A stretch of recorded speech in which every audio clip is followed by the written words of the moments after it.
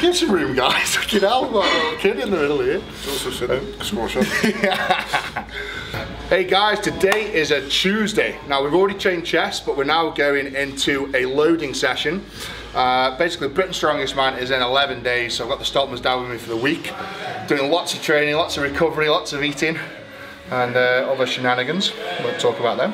Now the implements are duck walk, barrel, two barrels, sandbag and a tyre. We've got everything here. We're doing weights, we're doing about 75-80% of what it is on comp day. So we're going to be hitting, I think it's about 175 kilo duck walk in the hands. Uh, the keg is 85, sack's about 90, and then the tyre just weighed at 90. So uh, everything's you know a good percentage down because we don't want to be doing the comp weight. It's all about just getting the motions, getting that speed up, and I think we'll time each other and uh, have a little competition. I think more than likely just between me and you. Would. Probably, I think Yeah. so, yeah. Yeah. Let's get stuck in. Don't blink. Okay, so we like athletes take positions. Athletes ready. Ready, go. Yeah. Do the same for everyone. That's Darren. That's what Darren does. So, are we ready? Go.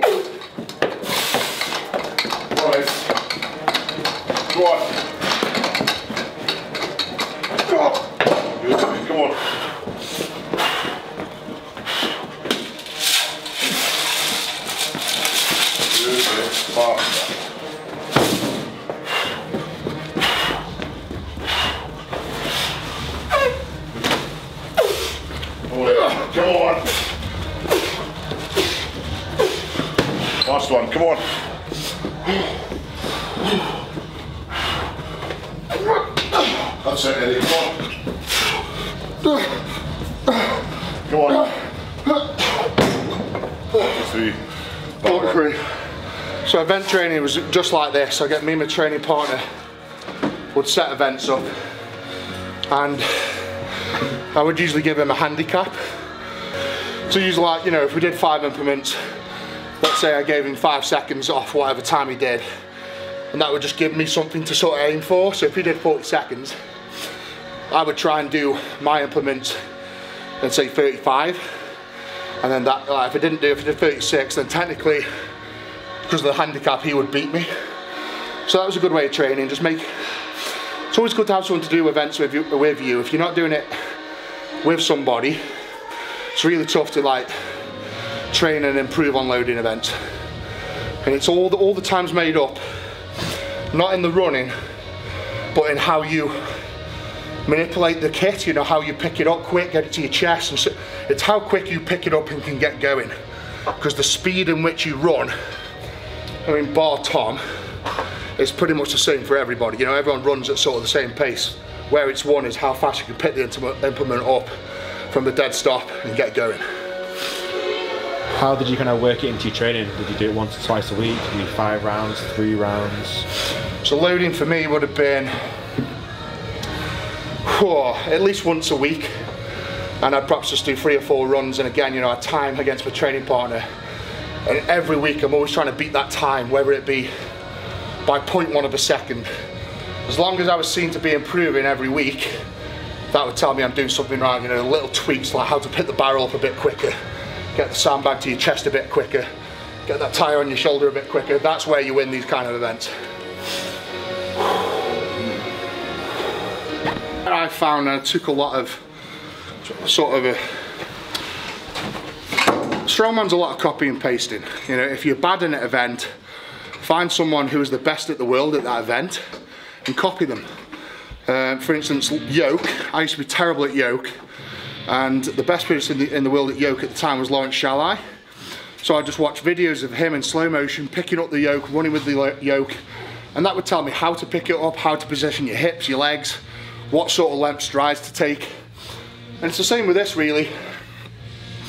If you were to say watch Tom in slow motion on these events, you would see how he would manipulate these bits of kit so effectively. So a normal person would pick a barrel up like this. They'd tip it, they'd put the hand under, they would lift it, and then they'd go. Someone like Tom, because he's just got that such huge brute strength, would literally, as he's tipping it, he's already running. So as he's tipping it, he's already going and he's getting into position whilst he's running. And that's that. That's sort of like, that's the half a second, three quarters of a second. You do that on each implement, and you've got a four second lead on everybody else. And it's easily done. I mean, luckily Tom's got that sort of brute, brute strength to be able to do stuff like that. But if you haven't, you've just got to learn it. You've got to learn, you know, learn how to lift those bits of kit whilst you're running. That's the secret to it. Ready, go!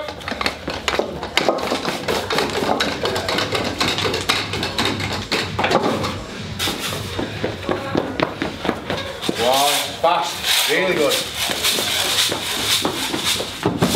Good. Come on, come on, come on. That's it, Luke. Come on.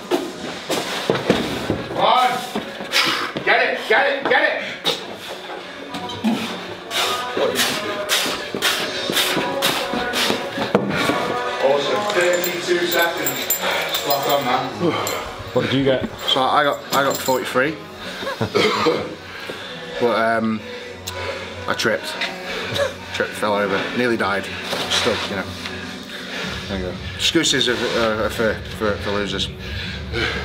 you want to get everything as you know off the ground as quick as you can, but in a effective as you can. So for me, I think I just use my levers as an advantage, you know. So um, as being a tall person, I kind of just use the power like I do for Atlas stone and get as high up on my chest as I can, and then do it. So like sandbag, I'll pick up and go while I'm running.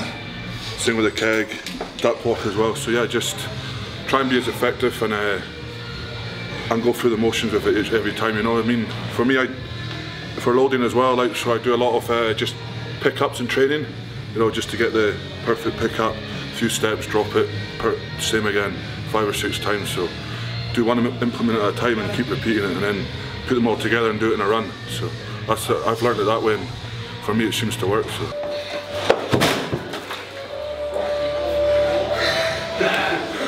It was nothing. I wanted to beat Luke. Had to check the tyre and look what happened to their fault. The wall's weak, so What time did you get? But that's the, this is the thing. I mean, Tom, I, I, I wouldn't be angry at you, mate, really, really, but you didn't even beat Luke. I know, that's what I said. You got one second less. second.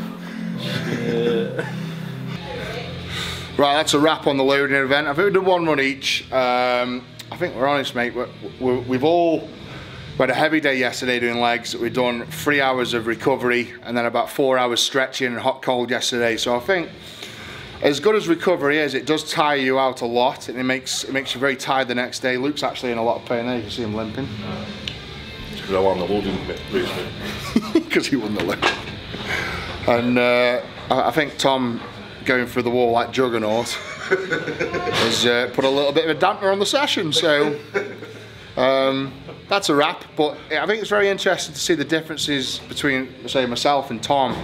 Uh, I don't know if you managed to get any slow mo stuff, but Tom picking up those the implements like the feathers, and you know before before the, the implements have even left the floor, he is moving already, you know, and he's sort of like pulling the kit behind him almost, and the kit's catching up with him. So it's quite impressive, and that, that's. I mean, I was never the quickest loader, but that's how I improved, and that's how I sort of kept in the top five in the world on the moving events was just by working on the technique side of things, which Tom's got mastered. To be fair, I can't can't teach him anything. Right, guys, so that's the, the loading session done. Bit of a brutal one. I've wrecked my shin. Tom's wrecked the wall. Uh, but no, it was good. We went through a few techniques on, on kind of picking up, lifting it, but to kind of suss out the best way to pick up the tyre because it's quite sharp on the edges. So we obviously don't want to injure our shoulder. So it was just a little bit of kind of brainstorming before we started, which was, um, I think it paid off. Um, and again, like we said, we were doing kind of 25 metre runs before, so this being 12 metres, it felt quite comfortable.